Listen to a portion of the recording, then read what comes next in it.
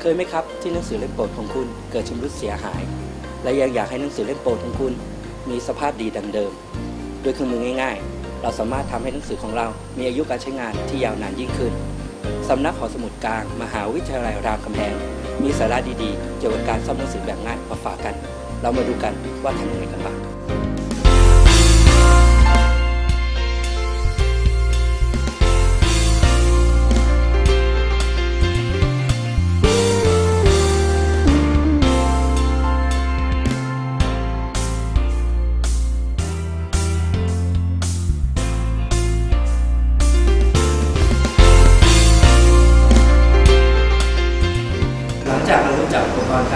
การซ่อมไปแล้วนะครับ เราก็จะมาลงมือปฏิบัติกันเลย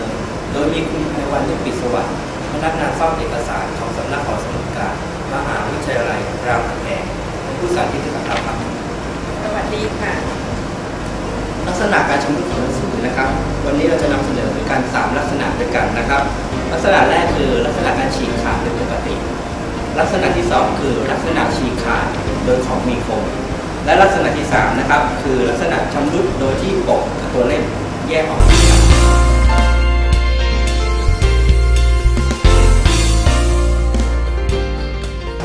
สำหรับลักษณะการชำรุดของหนังสือลักษณะแรกที่เราจะมาต้องกันนะครับ คือลักษณะการฉีกขาดเป็นปกติ ลักษณะการฉีกขาดเป็นปกตินะครับ กระดาษจะมีเยื่อให้เห็นบริเวณนี้นะครับ เราจะเข้ากันยังไงครับลักษณะ นะครับ เราจะใช้กาวลาเทกซ์ทานะครับก่อนจะทากาวเราก็ใช้กระดาษนะครับรองลงไป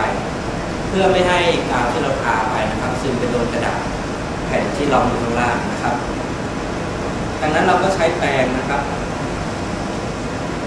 จุ่มกาวพอประมาณนะครับ เพราะว่าถ้าเราใช้กาวเยอะเกินไปจะทำให้ซึมไปโดนกระดาษแผ่นล่างได้นะครับ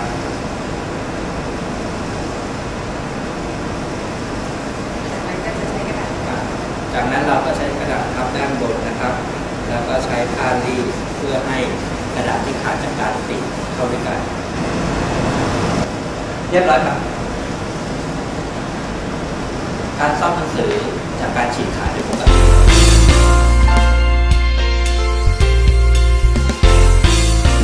ลักษณะการชำรุดของหนังสือลักษณะต่อไปนะครับ คือลักษณะการฉีกขาดจากการโดนของมีคมนะครับ ก็จะดูว่า มันจะไม่มีเยื่อของกระดาษนะครับ วิธีการซ่อมเราจะทำยังไงครับคุณไพวันสกอตเทปใสอะค่ะเราจะใช้สกอตเทปใสนะครับติดไปบนบริเวณที่ชำรุดนะครับ คุณไพวันจะสาธิตให้เราดูกัน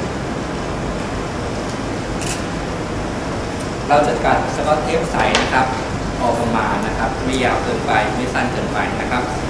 หลังจากนั้นเราก็จะติดบริเวณที่เกิดการชำรุดใช้กระดาษ ถือแผ่นนะครับ วางทับลงไปแล้วใช้ผ้ารีด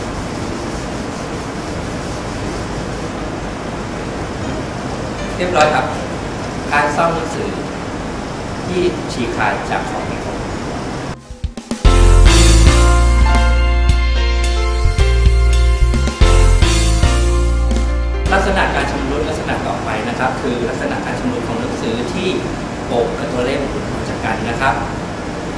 คุณไปวันครับเราจะซ่อมหนังสือแบบนี้ยังไงครับใช้กาวทานะคะเอ่อเราจะใช้กาวลาเท็กซ์ทาปกตินะครับ เราจะทาบริเวณใดบ้างครับลงสันหนังสือนี่นะคะ แล้วก็จะ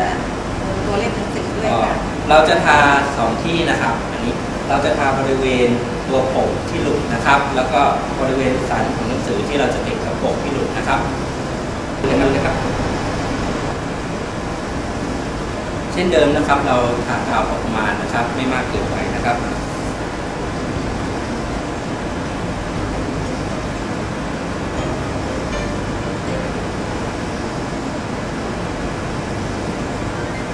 เวลาติดนะครับ เราจะต้องดูนะครับว่าตัวเล่มนะครับ กับหน้าปกนะฮะอยู่ด้านเดียวกันหรือเปล่านะครับ แล้วเราก็เล็งบริเวณของปก นะครับด้านบนล่างให้อยู่ระดับเดียวกัน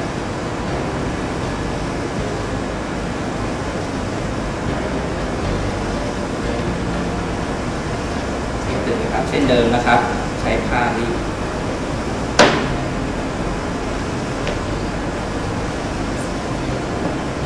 เรียบร้อยครับการซ่อมหนังสือที่ชำรุด